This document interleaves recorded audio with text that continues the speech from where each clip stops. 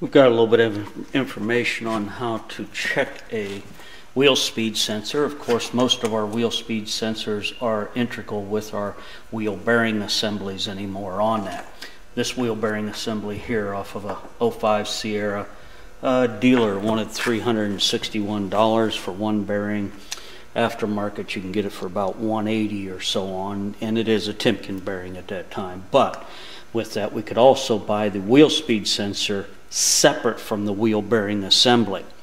Where's the problem happening on these? It has to do with the mating surfaces between the wheel speed sensor and the mounting surface of it. Let's take a look at one over here and I'll show you what happens to them generally on this style of vehicle where the wheel speed sensor sets on this flange right around here this item actually starts to corrode and it lifts the wheel speed sensor up off of its base and then there's too much of an air gap in between there. Two components really is all there is to this. One is going to be a tone wheel and inside the hole on the left hand side right there is a tone wheel and I'm going to spin this guy so you can see literally see the bumps go around inside of that as our wheel goes around.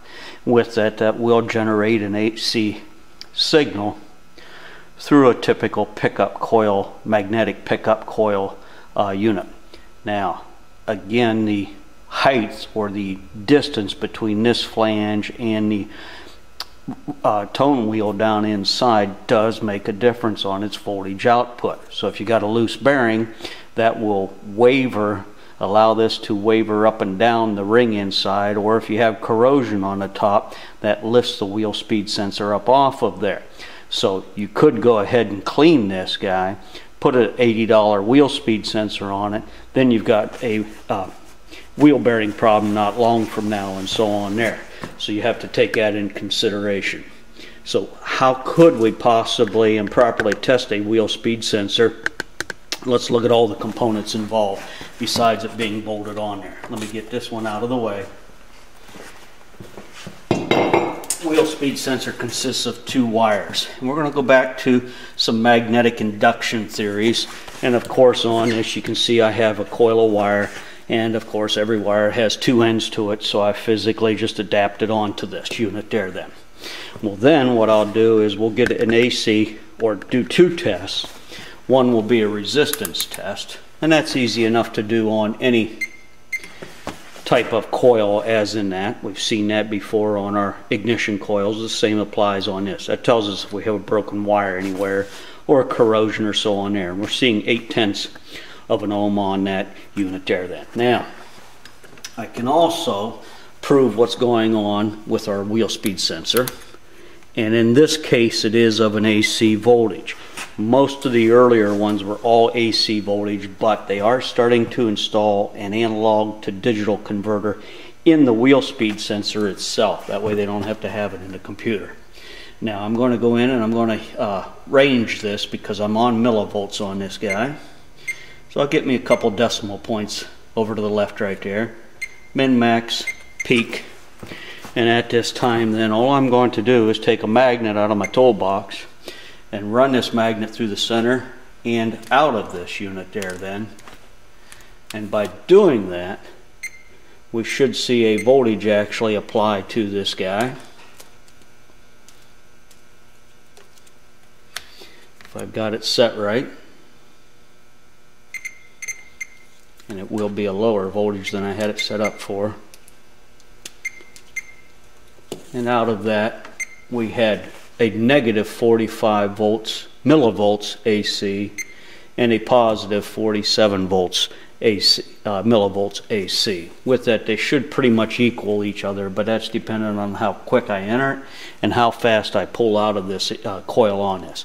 So that's all that this does. We have the magnet and a coil of wire, and then we pass a chunk of iron, which is in the wheel speed sensor, past that to make that happen. I can show you the exact same results then by putting it in a prettier package than just two wires on this. And we'll take a regular crank sensor, which has two wires on it, which identifies it as an AC signal coming out of it with only two wires coming out of it. If it was three wires, it's a um, digital signal. It would be of a Hall effect, and that's a completely different concept that would be going on. Yeah, let me rearrange this unit. And again, two wires. This one does have a permanent magnet built into it with the coil wire around the outside, as we've seen before. A couple decimal points on this one. Min-max record. And then all I have to do is physically take this guy and move this iron across this unit. And by doing that, you can see we've generated a voltage out of this. And in this case there, we've got 4 uh, volts AC positive and a negative 12 volts AC on that unit there then. Uh, the amount of time my hand was moving, I was basically going on top of it and leaving it showing the negative, but if I try to do it quickly then, we can alter that around then a small amount on there. So that takes it to this step here then. Now if we go to a wheel speed sensor setup, with that in mind, we can see that we have really and truly the exact same concept going on.